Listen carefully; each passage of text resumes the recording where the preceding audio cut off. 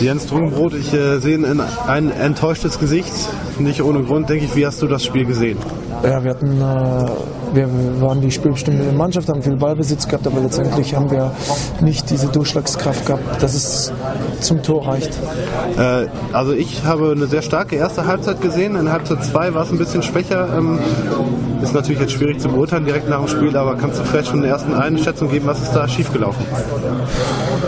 Ja, wir wollten einfach an dieser ersten Halbzeit, wo ich denke ganz gut war, wo wir viel Druck aufgebaut haben und immer wieder sie auch angelaufen haben, wollten dich einfach, da wollten wir dran arbeiten, dass wir so zweite Halbzeit, aber das ist uns auch nicht, ja, es war eine Phase so Mitte der zweiten Halbzeit, wo wir nochmal Druck gemacht haben, aber danach, es war einfach, es ein bisschen zu wenig, einfach, eindeutig. Äh, ich habe gesehen, du hast oftmals in die Hände geklatscht, versucht, Spieler so ein bisschen wach zu rütteln und so. Hattest du das Gefühl, dass in der zweiten Halbzeit das so ein bisschen eingeschlafen ist, das Spiel, dass du die wach rütteln musstest?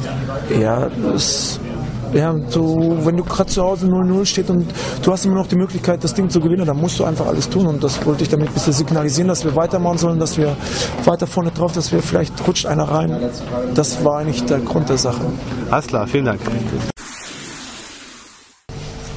Wir sind natürlich sehr enttäuscht, wir haben uns sehr viel vorgenommen.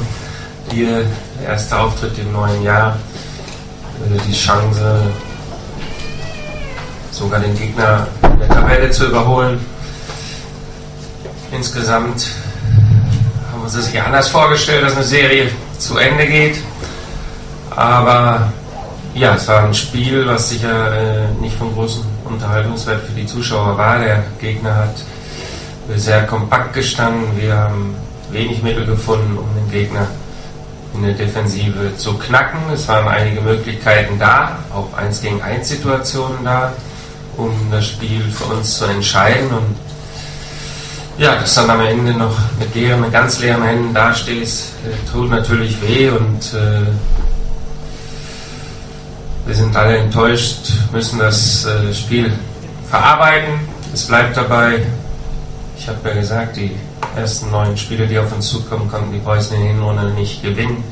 Wir sind jetzt beim zweiten angelangt und werden alles dafür tun, dass wir das in den nächsten Spielen besser machen und korrigieren können. Danke.